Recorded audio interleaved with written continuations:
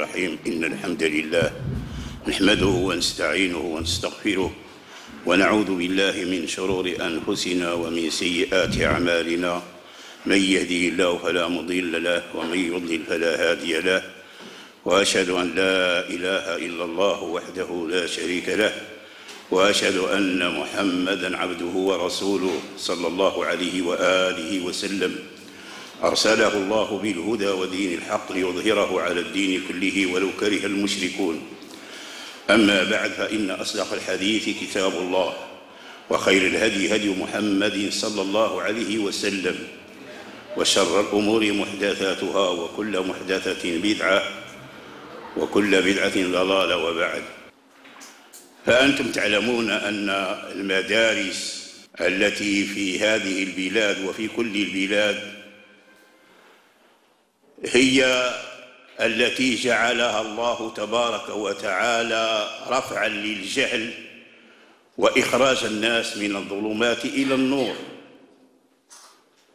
فالمدارس القرآنية العلمية هي التي حفظ الله تعالى بها هذا الدين وحفظ بها القرآن وسنة النبي صلى الله عليه وسلم. فعلماؤها وفقهاؤها هم الذين ينورون القلوب ويفتحون العقول لهذا الدين العظيم. فكان فكانوا المرجع لهذه الأمة سواء في دينها أو في دنياها. فأنتم تعلمون أن الفقيه أن العالم في قرية أو مدينة هو الذي ترجع إليه جميع شؤون المجتمع. فيفتي ويصلح بين بين ويصلح بين الخصومات ويؤلف بين القلوب إلى غير ذلك مما كان يعني دورهم في هذه الأمة. فالمدارس القرآنية على أي حال هي التي جعلها الله سبحانه وتعالى بعد النبي بعد النبي صلى الله عليه وسلم هي التي أورثها الله تعالى إرث رسول الله صلى الله عليه وسلم. إرث القرآن إرث الوحيين الكتاب والسنة. ولا زالت هذه المدارس تؤدي الدور الذي كانت عليه إلا أنها ضعفت كما ضعفت الأمة على العموم. ونسأل الله سبحانه وتعالى أن يرد الأمة إلى كتابها وإلى سنة نبيها صلى الله عليه وسلم. كما نسأل الله تبارك وتعالى أن يحيي هذه المدارس وأن يبعث فيها الروح من جديد. وإن كانت ما زالت والحمد لله على ضعف كما ذكرت. أيها الإخوة كانت المدارس في هذه البلاد منتصرة. في المدن وفي القرى بل وفي البوادي بل وحتى عند الرحال أي أصحاب الخيام أصحاب الرعي كانت المدارس لا تفارقهم. فكان المسجد أيضا خيمة في من يعني يرحلون. فيه فقيه فيه يعني فقيه مشارط يرحل مع مع القبيلة أو إلى غير ذلك فيقرئ القرآن ويفتي و بل كانت بيده الطلاق بيده الطلاق بيده العقد بيده يعني جميع العقود آه، يفك الخصومات إلى غير ذلك. فكان الفقيه يعني مع في جانب الناس في في رحالهم أو في إقامتهم في المدن أو كذا إلى غير ذلك. وكانت المساجد الصغيرة تدعم المدارس الكبيرة. فما يسمى بالمسجد أو أو المساجد هذه يعني يتخرج منها التلاميذ بعد حفظهم القرآن بعد حفظهم المتون بعد يعني إلى غير ذلك.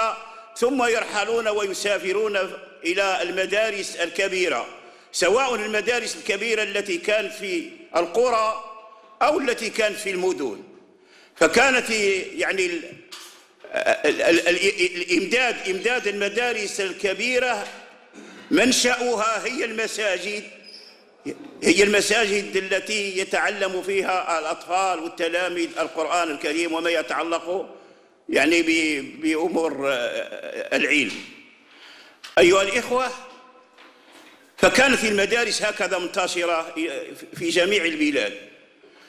كانت المدارس في في جنوب المغرب سوس دكالة عبدة حمر آه، الصويرة إلى غير ذلك. يعني بلاد الشاوية آه، بلاد الشمال المغرب.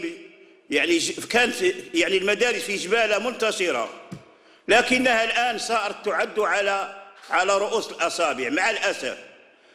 على أي حال ف آه، في بي في خضم هذه المدارس المبثوثة في جميع يعني بلادنا آه، كان ظهرت مدرسة في القرن الثالث عشر في أوائل القرن الثالث عشر وهي المدرسة المشهورة في المغرب.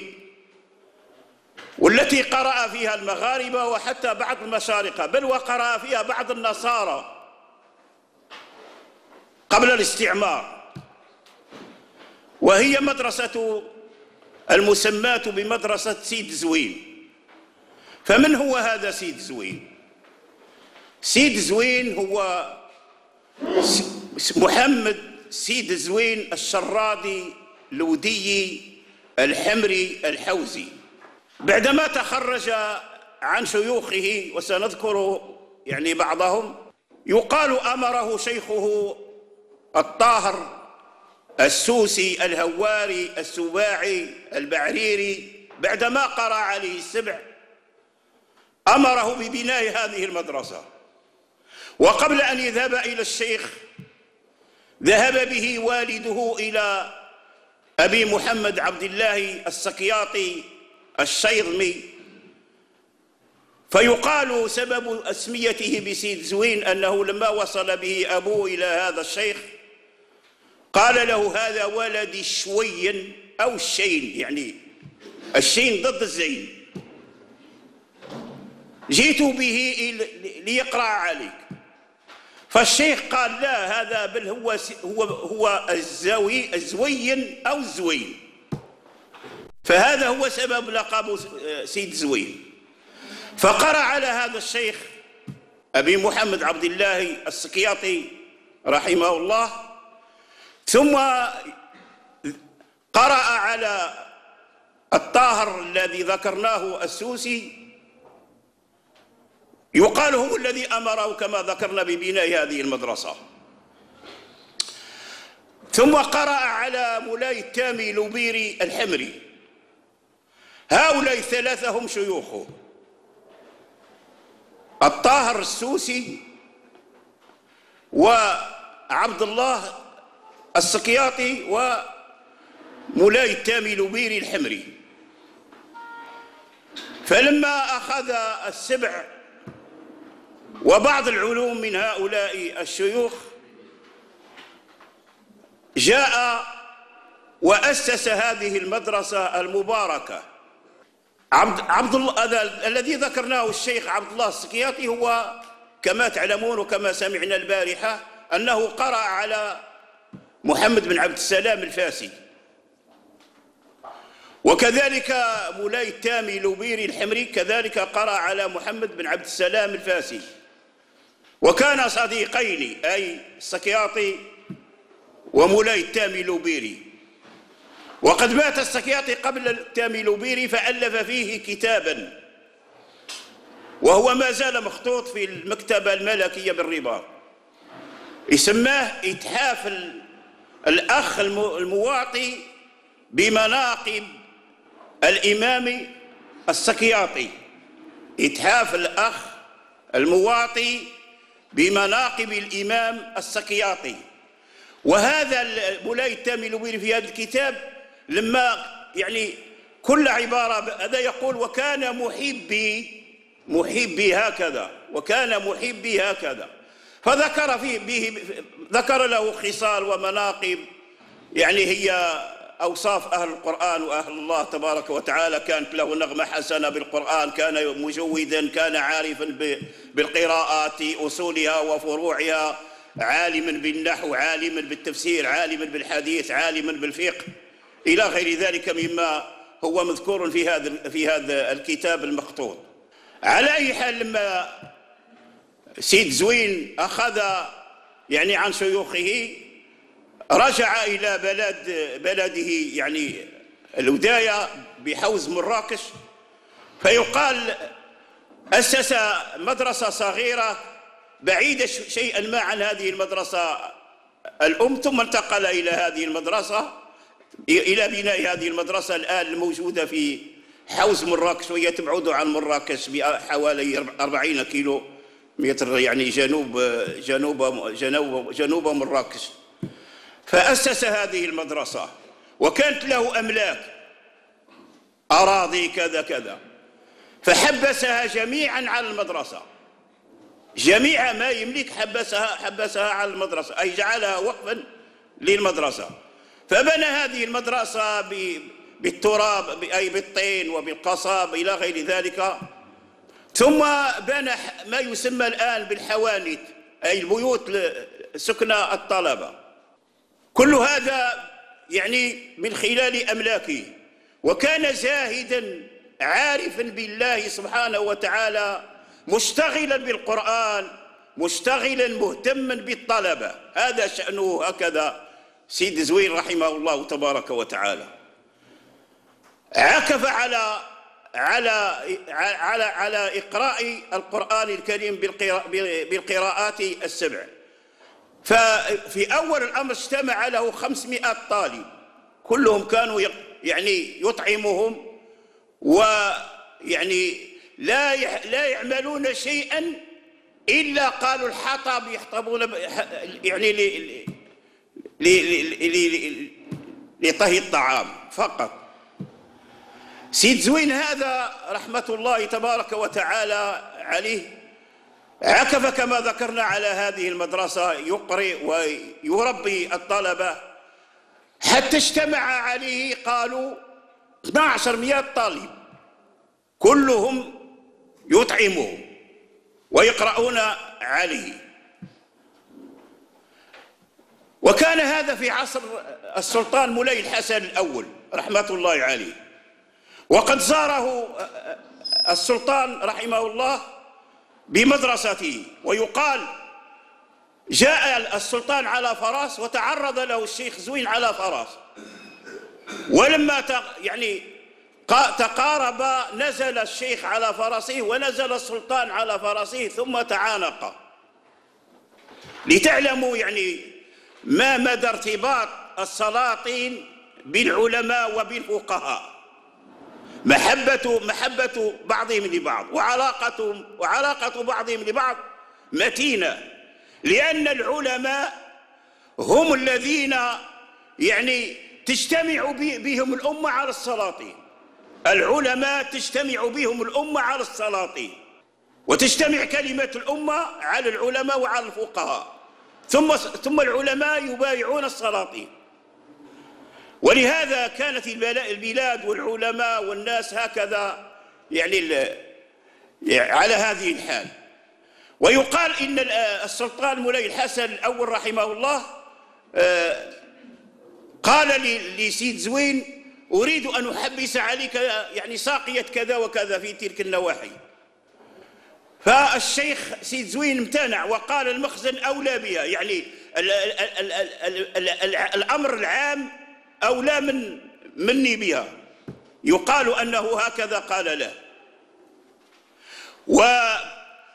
وولد سيد زوين يقال 1227 1217 ولد سيد زوين. وتوفي في ألف و311 11 للهجرة. وهي السنة التي توفي فيها السلطان مولاي الحسن رحمة الله عليه. فتوفي في سنة واحدة. فما هي مدرسة سيد زوين؟ مدرسة الزوين صاحبها خصصها للقرآن فقط للقراءات فقط للرسم للضبط لإتقان يعني القرآن الكريم بجميع ما يتعلق به. وكانت هكذا. وكان الطلبة إذا حفظ القرآن في بلد سواء في جبالة أو في في غيرها يأتون إلى مدرسة سيد زوين. وكان المشهور عند عند الناس أن أن الطالب أو الفقيه الذي قرأ في سيد زوين له تميز خاص عند عند الناس.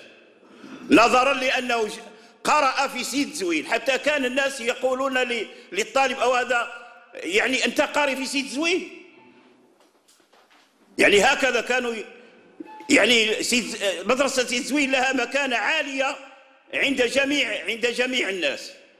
مدرسة سيد زوين كما عرفتها وذهبت إليها توفي سيد زوين ثم جاء أولاده فخلفوه في في في في الإقراء وفي السهر على المدرسة. وأدركت يعني أنا والشيخ السي عبد الهادي أدركنا يعني أحفاد سيد زوين. أحفاد سيد زوين أدركناهم وكانوا في المدرسة يقرؤون القراءات مع يعني يخالطون الطلبة إلى غير ذلك من ففي سنة 1909 69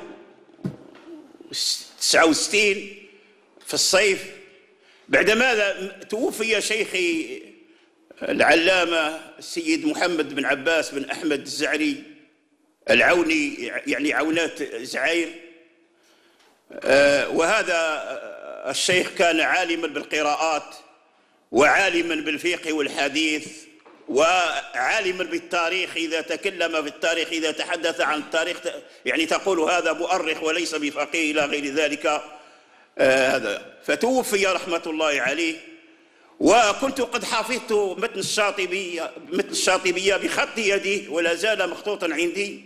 حفظته حفظت متن الشاطبية وقرأت شرح ابن القاصح على على على الحرز بل وكتبته في اللوح إلى غير ذلك كما كنا نكتب الشرح والمتن في في في الألواح. فتوفي هذا الشيخ ثم فكرت أن أذهب إلى مدرسة سي الزوين.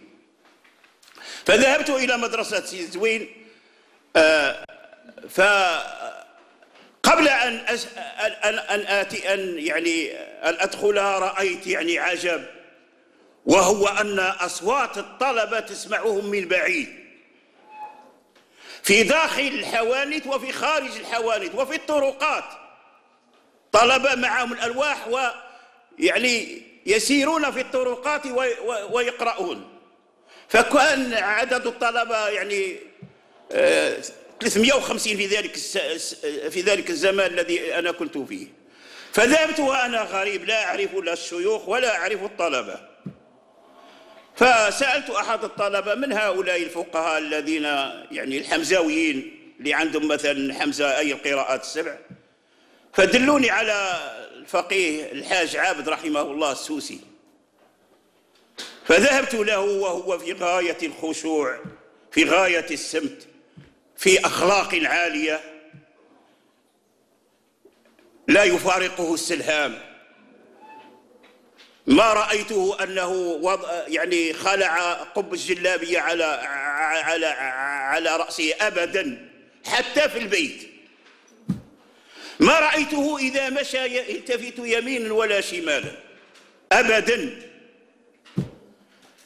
إذا مشى يضع عينيه في في موضع القدم. عالما زاهدا آه، كلامه قليل إذا لم تكلمه لم يكلمك.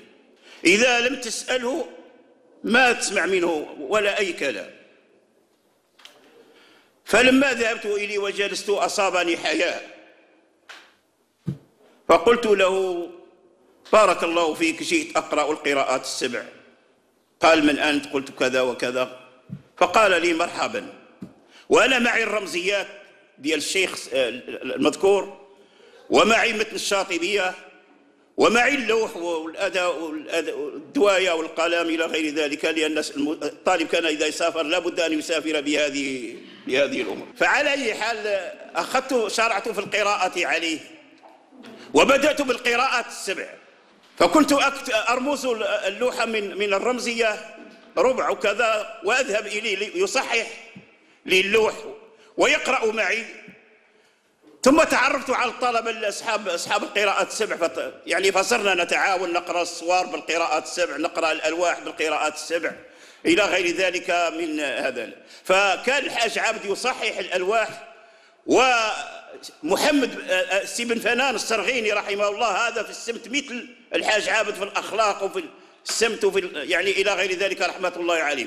فكان هذا هذا الفقيه بن فنان السرغيني صبورا على الطلبة. كان يصحح كل يوم ما يزيد على 150 لوحة.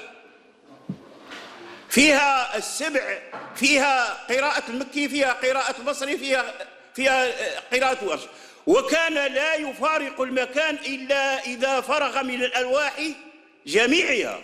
ما يترك لوحا بلا, بلا تصحيح. ولو بقي إلى ما بعد الظهر من صلاة الفجر إلى ما بعد الظهر وهو في مكانه. لا يعني لا يصيبه الملل. ولا يقول للطالب يعني بعد مرة بعد بعد بعد بعد هذه الساعة ولا أبدا.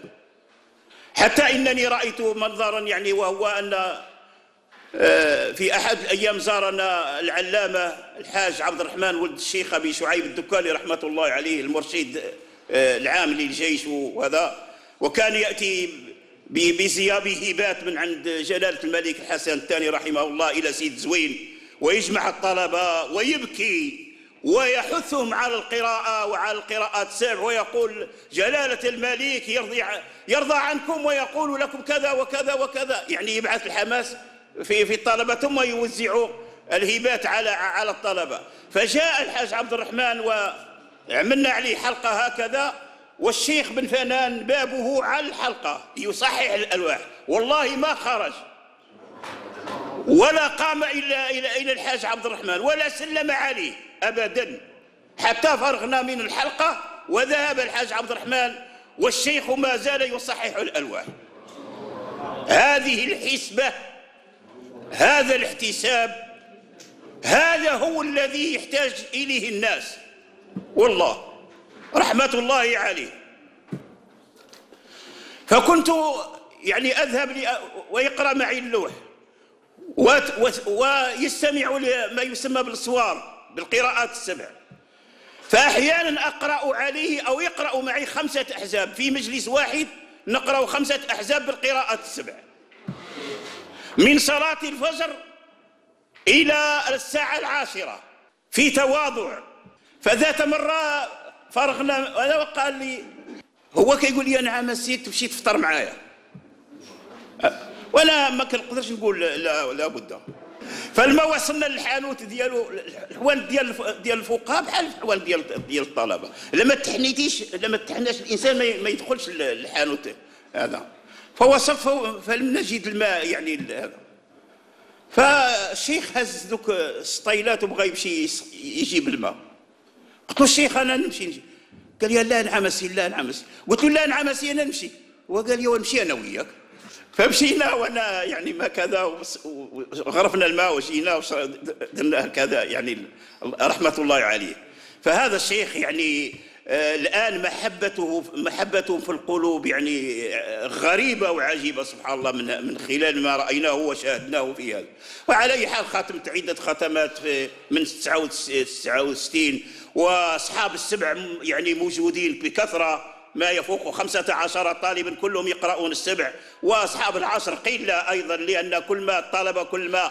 أصحاب ورش أكثر من أصحاب المكي وأصحاب المكي أكثر من أصحاب البصري وأصحاب البصري أكثر من أصحاب حمزة وأصحاب حمزة أكثر من قراءة أصحاب القراءة العشر وأصحاب القراءة العشر يعني أكثر من أصحاب القراءة العشرين لأن طلبة شوية صبرهم يعني متفاوت وبعضهم يصبر إلى النهاية وبعضهم يعني وهكذا. وكان الاجتهاد على أي حال هو العام في مدرسة سي الزوين في هذا العهد. كان كان القرآن أربعة وعشرين ساعة في مدرسة سي الزوين. أربعة وعشرين ساعة والقرآن متواصل. في أي ساعة أردت أن تسمع القرآن؟ تسمعه. نسأل الله سبحانه وتعالى أن يوفقنا وإياكم. ونسأل الله تبارك وتعالى لهذه المدارس أن تنهض من جديد. شيخنا هذا الحاج علال العشراوي العبدي هذا شيخ خاص بالعشرين لأن هؤلاء الشيوخ كان كل واحد له له تخصص وإن كان الحاج عابد عنده العشر أيضا. والحاج بن فنان السرغيني لا أعلم إلا أنه عنده السبع فقط. ولكن الحاج عبد كان خاص بالعصر بأصحاب العصر الكبير والعصر الصغير. ولكن إذا ذهبت إليه يسرد عليك تسرد تقرأ عليه اللوح أو يصحح لك أو كذا وكذا. لكن المشهور في تصحيح الألواح هو الفقيه الحاج عابد. وكان الحاج علال هو المسؤول يعني شيخ المدرسة أو مدير مدرسة سيد زوين والطلبة يعني آه، أحرار ما أحد يلزمهم. فبعض الطلبة جالس لا يقرأ. وبعض الطلبة بعض الطلبة ما يح... يعني همه هو أن يضحك الطلبة فقط. يعني يعمل لهم الحكايات يعمل لهم الغرائب يعمل لهم إلى غير ذلك سبحان ربك رب العزة عما يصفون وسلام على المرسلين والحمد لله رب العالمين.